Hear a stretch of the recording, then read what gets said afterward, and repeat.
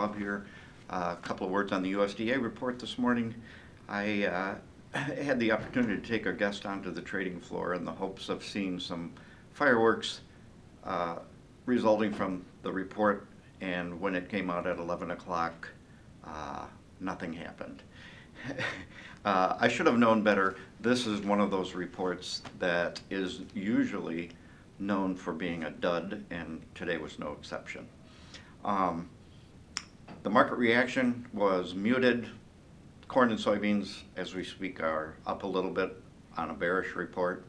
Uh, A bigger corn carryout and a carryout in the soybeans that basically is unchanged and ignoring the better than expected exports that we've been seeing. So maybe we'll see a change in the January 12 report. I think we probably will.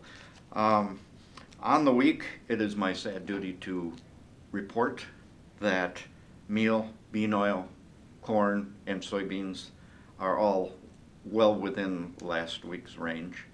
Uh, Corn and soybeans especially spent the entire week just simply retracing all of last week's range. Uh, Bean oil is down on the week, but well within uh, the previous week's range. Meal is just marginally higher on the week, and it also uh, is not really doing much of anything. None of these markets are.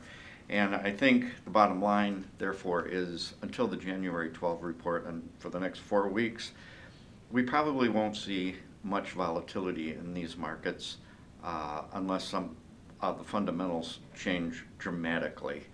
Uh, And so we'll keep an eye on that, but until then, this is Bob signing out. See ya.